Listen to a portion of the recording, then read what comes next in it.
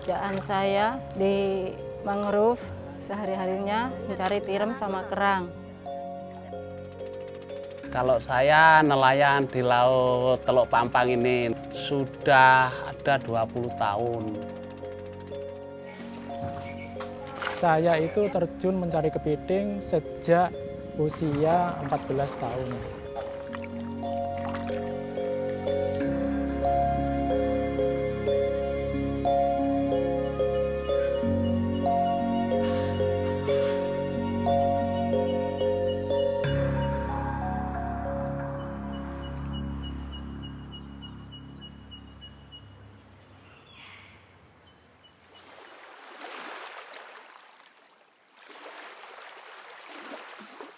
Di era 80-an eh, mangrove di sini sebenarnya sudah tumbuh dan berbagai jenis sudah ada. Tetapi di tahun 84 mulailah ditebang untuk budidaya tambak.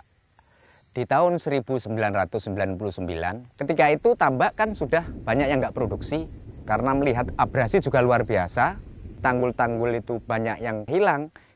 Jadi masyarakat secara swadaya menanam eh, mangrove di area kawasan Teluk Pangpang.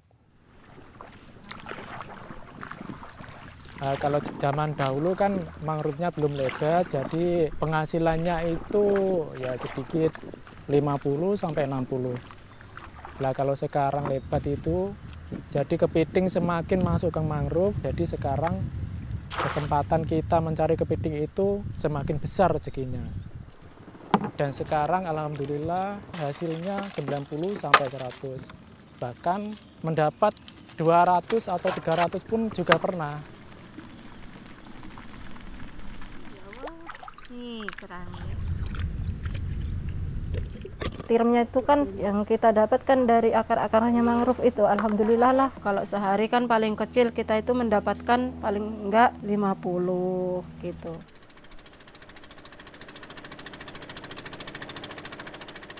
Saya tidak punya penghasilan sampingan, semuanya dari laut, dari nelayan ini. Penghasilan lagi bagus, sebulan itu bisa nabung kadang ya 500 ribu, kadang kalau penghasilan banyak bisa juga satu juta gitu.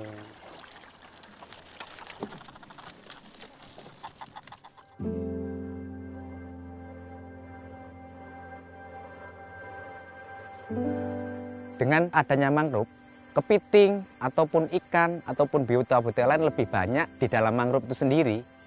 Kalau mangrove itu nggak ada, otomatis perekonomian masyarakat untuk stok bahan pangannya jelas berkurang. Kalau saya yang penting ada beras, kalau sayuran mah apa aja kita cari di laut, di pinggir-pinggir mangrove itu kan ada juga kerang, ada tiram. Ya alhamdulillah bisa buat lauk. Kalau tiram kan kita sehari-harinya bisa masak, kerang juga berhari-harinya kita bisa masak. gitu. Yang penting anak lagi mau kita sisihin separuh, yang separuh kita jual. Biasanya yang dijual itu yang ikan kerapu itu kan agak mahal. Ya sama ikan kecil-kecil juga, ikan udangnya itu dijual. Biasanya kita ambil itu yang nggak terlalu besar, nggak terlalu kecil itu bisa kita makan. Aku pamit ya. Ya, jadi. Bu, Bapak pulang. Harga-harga naik dari pasar itu saya nggak terlalu pusing, soalnya banyak dikonsumsi itu hasil tangkapan sendiri. Kayak ikan, kepiting, udang. Kalau ibunya masak ikan itu anak-anak saya keburu-buru makan. Kalau nggak ada ikan itu susah makannya. Anak-anak itu makan hasil tangkapan itu kalau udang, udang manis. Yang sering itu ikan kerongan. Ikan kecil-kecil itu yang dia suka itu ikan teri sama ikan nongko.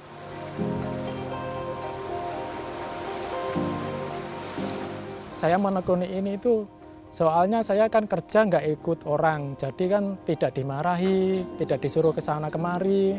Pekerjaan saya itu cuma memakan setengah hari.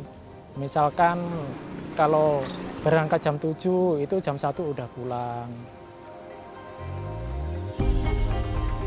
Kita kalau mau kerja di pabrik juga ada, tapi kan lebih baik, lebih untung kita di area mangrove. Bentar kan udah ngumpul sama anak.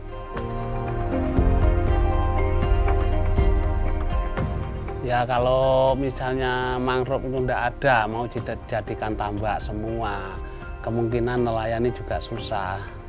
Ikannya tidak mau ke tepian, jadi bisa berkurang penghasilan nelayan masyarakat sudah merasakan uh, dampak dari mangrove tersebut. Dari itu, masyarakat sudah mempunyai kesadaran bahwa oh, betapa pentingnya konservasi mangrove.